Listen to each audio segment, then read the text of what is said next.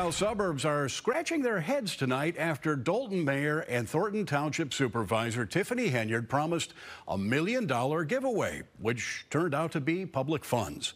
Henyard posted a message on her personal Facebook page earlier this week asking people to tune in to a live Facebook broadcast last evening for an announcement that she said could change their lives. A million dollar giveaway in honor of Black History Month.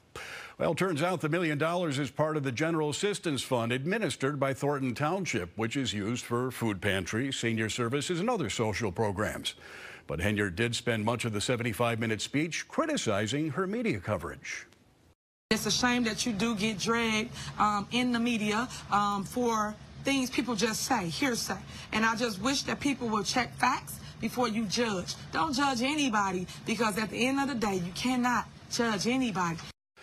Fox 32 has done a number of stories questioning Henyard's use of taxpayer dollars for extravagant spending on trips, hotels, and restaurants, playing games with her salary, and using village and township employees to support